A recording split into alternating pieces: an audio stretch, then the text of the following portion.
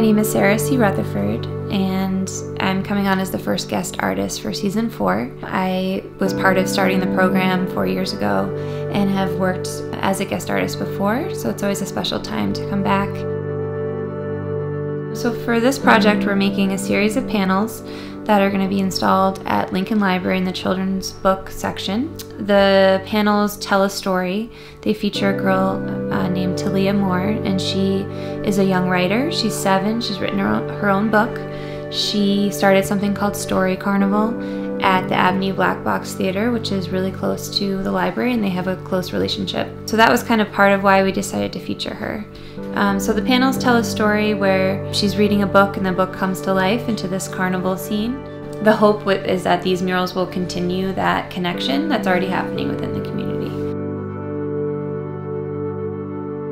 you know, it's a lot easier just to sit back and really help with the design. But then when it comes to painting, you know, I'm really letting all the, the youth muralists do the work. I mean, I've, I've really barely painted on it. It's really more about guiding them on different areas and giving them different tips. And as this is the first uh, one of the season, I think there's a little bit more of that kind of basic training that's that's happening. But you know, uh, there's a range of different skill sets, and and um, it's been really amazing to see how much they've just owned each of the areas on their own we are doing, you know, painting, traditional painting, wet on wet. We're trying the glazing method. Um, we cut some stencils for the circles, so a little bit of spray paint.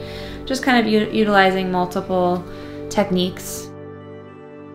It's really special coming back to a program that I was part of, you know, the founding of and seeing it really evolve and grow beyond what I could have imagined it would, would be. I think more than anything, meeting each of the youth um, each season it's really wonderful just seeing that the program's continuing, continuing to inspire, and watching these youth go off and do their own works, their own murals, go to college, just kind of continue on this path in, in different ways has also been really inspiring.